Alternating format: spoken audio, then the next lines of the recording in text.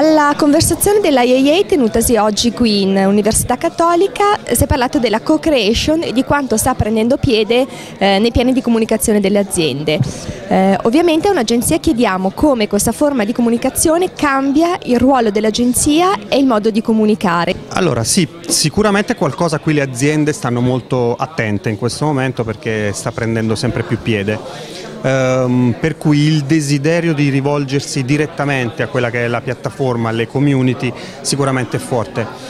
Quello che comunque la maggior parte delle aziende ritengono e comunque personalmente anch'io è sempre la necessità di avere una regia che comunque eh, gestisca un po' tutte queste quantità di informazioni che arrivano in maniera anche un po' indiscriminata se vuoi e vengano filtrate e poi siano parte di quella che sono, di quelle che sono le informazioni alla base di una strategia che poi diventa creatività. Tutti i momenti in cui si entra in contatto eh, tra il consumatore e il brand sono importanti per, per capire mh, quelle che possono essere le, le, richieste dei consumatori. Sicuramente i consumatori in questo momento non hanno più una sorta di passività nei confronti dell'azienda ma hanno un atteggiamento propositivo e fino anche critico nei confronti di quelli che possono essere i prodotti. Chiaramente tutte queste informazioni vanno eh, incanalate, filtrate, gestite e devono sicuramente eh, finire nella, nel calderone delle informazioni che fanno parte di un brief, che se prima veniva soltanto da magari il marketing, dalle aziende, magari da una ricerca che avevano fatto, adesso ha bisogno di avere molti più elementi da, da valutare. Beh, il ruolo dell'agenzia quale diventa esattamente, soprattutto cambia la piramide della comunicazione, si parte ancora da un brief che l'azienda dà e che poi eh, viene declinato su tutti i mezzi o la co-creazione, l'arrivo di contenuti provenienti dalla rete e non solo, cambia proprio rivoluziona il modo di comunicare, soprattutto in agenzia.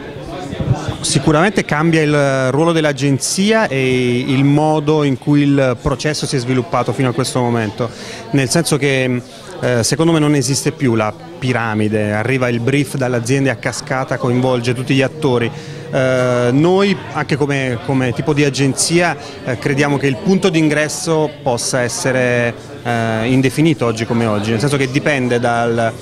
caso e dal tipo di lavoro e dal tipo di brief che si riceve, ma non è assolutamente detto che ci siano i stessi processi che c'erano un tempo. Il ruolo dell'agenzia in questo momento secondo me può essere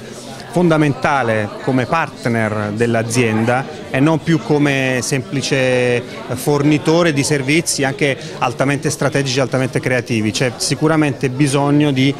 affrontare un processo dall'inizio insieme.